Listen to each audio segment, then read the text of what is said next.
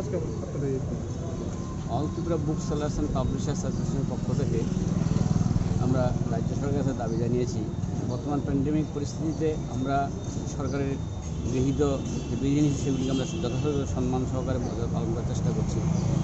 তারপরেও বিভিন্ন জায়গা থেকে অর্থাৎ সারা ত্রিপুরা যত ছাত্র সমাজ, শিক্ষক সমাজ, অভিভাবক সমাজ আমাদের বারবার ফোন করছেন, তাদের বই না পাওয়াতে বিশাল ক্ষতিগ্রস্ত হচ্ছে।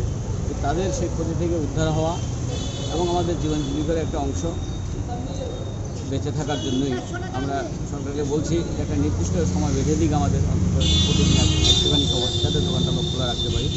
সেজন্য আমরা গতকাল মাননীয় শিক্ষামন্ত্রী দৃষ্টি আকর্ষণ করে চিঠি দিয়েছি। তিনি বলছেন এটা ওনার একার বিষয় তিনি ক্যাবিনেটে আলোচনা করে তাই আপনাদের মাধ্যমে রাজ্যবাসী যে আমাদের কাছে বারবার ফোন করছেন, তাদের কাছে আবার তাদের দাবি তাদের কাছে পাঠাচ্ছি। যেন রাজ্য সরকার দৃষ্টি আকর্ষণ করে এবং রাজ্য ক্যাবিনেট সবার জন্য আপনাদের মাধ্যমে দৃষ্টি আকর্ষণ করছি যাতে একটা নির্দিষ্ট সময় বই দোকানগুলি দিয়ে ছাত্র সমাজের বা ভবিষ্যৎ প্রজন্মের জন্য বই পেতে পারে তার সুযোগ করে দেওয়া এবং আমাদের জীবন ও জীবিকার পথ নিশ্চিত করা। মূল দাবি কয়টা? মূল দাবি হলো দোকানটা খোলা রাখার ব্যবস্থা করা এখন তো পরিস্থিতি, অন্য কোনো দাবি কোনো দাবি তো আমাদের অনেকই আছে বৈঠক আরও হবে।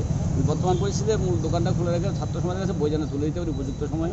তাদের বিরাট ক্ষতিগ্রস্ত হচ্ছে, কারণ স্কুলগুলি বন্ধ, বই একমাত্র অবলম্বন, বই তারা পাচ্ছে না। স্বাভাবিক কারণেই বই যদি তাদের হাতে পায় তাদের লেখাপড়া কিছুটা ফাটা যেটা ক্ষতিগ্রস্ত তাতে কিছুটা অন্তত সুরাহা হবে। সেই জন্য আপনাদের মাধ্যমে রাজ্য সরকার এবং রাজ্যবাসী যে দাবি করেছেন, সেটার প্রতি আপনাদের মাধ্যমে আবার দৃষ্টিপাত আকর্ষণ করছি। উত্তম চক্রবর্তী সাধারণ সম্পাদক the all Tripura book sellers and publishers association আমার পাশে আছেন মাননীয় সহসভাপতি তাপসেন্দ্র দাস, আমাদের সহ আর উনি আছেন আমাদের কোষাধ্যক্ষ সিদ্ধাম ভৌমিক।